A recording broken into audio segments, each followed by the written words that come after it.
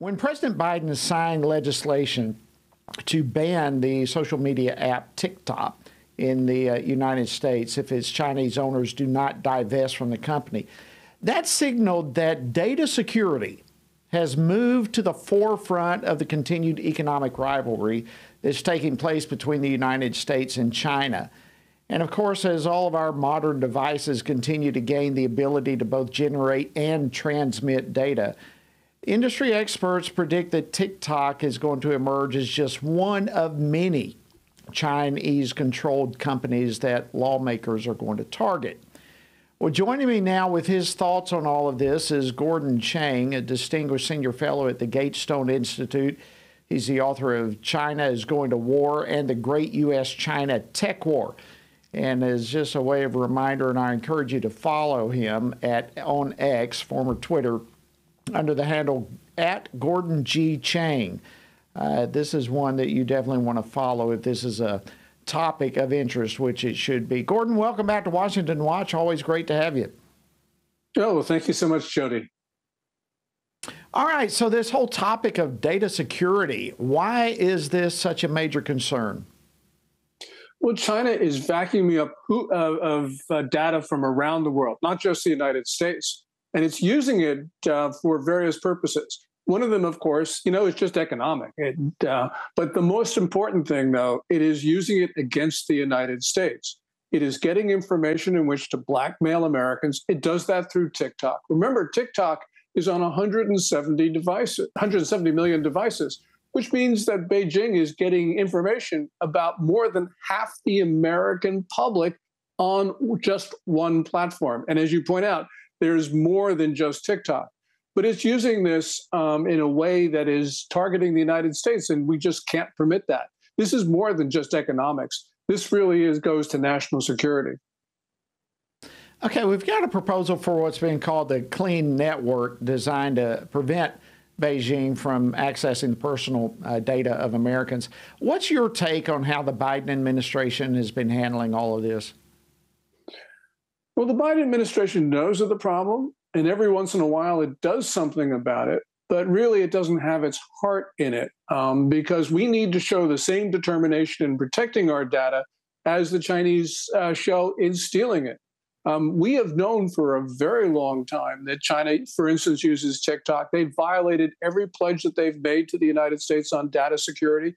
They violated US laws by stealing data. And you know, the president's response has been to put his campaign for reelection on TikTok. He did that memorably during the Super Bowl this year.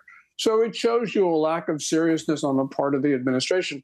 And while I'm glad that he did sign the TikTok bill last month, the point here, though, is that he extended the deadline for the sale of TikTok until after the November 5 election. So that shows you what Biden is thinking. Wow, that's I had, I had forgotten that on the Super Bowl. That's a, a, good thing to remember. You know, there's a lot of commentators out there that somehow are trying to paint a story of equivalence between China and the United States when it comes to citizens' data. But are they really comparing apples with oranges here? Yeah, there is no comparison. You got to remember, we're a very different society than China. Um, China is a communist state, it's top down no Chinese individual, no Chinese entity can disobey an order from the Communist Party. So when ByteDance, for instance, the Chinese owner of TikTok, says, well, it would never provide data to the Communist Party, well, it has no choice but to do that. Um, you know, in our country, uh, big tech platforms, yeah, they collect data like TikTok does. But uh, if they want to, and they often do, they resist uh, requests from the federal government about supplying data. So we're a very different society, and I don't think that there is any equivalence here. Yeah, great point. You you brought up ByteDance, the, the company that owns TikTok, and you know it, it was interest to me that they have said that they would prefer to shut down U.S. operations instead of selling. I think that tells us everything we need to know about all of this. Uh, before I let you go, our time is about to run out. Before I let you go, there's one more item I wanted to get your insight on. China has said that they they will respond to the U.S.'s recent military aid to Taiwan. What in the world do you think that could possibly mean for the U.S.? Well, they're going to huff and puff about Taiwan. Um, you know, they're going to send their planes across the median line in the Taiwan Strait, which is the boundary. They'll send their ships close to Taiwan.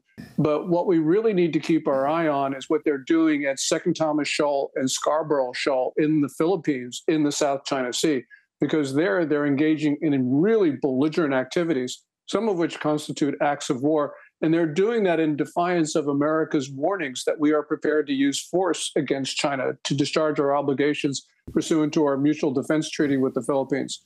That's the really the great flashpoint right now. And that's what I think China means when it says it's going to impose costs on us.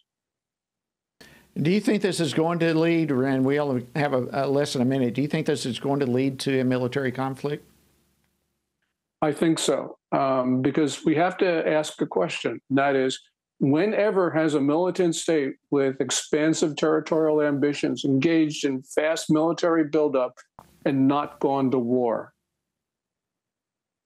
Well, it's disturbing when you look at what's happening really all across the world right now. I mean, we, not the least of which is our own southern border, but then you have what's happening in Ukraine, what's happening in Israel, in the Middle East. And then what's happening now with China and Taiwan, it really is a very disturbing situation. Thank you, Gordon Chang. It's to always fantastic to speak with you and get your insight. We appreciate it very much. Well, thank you so much, Jody.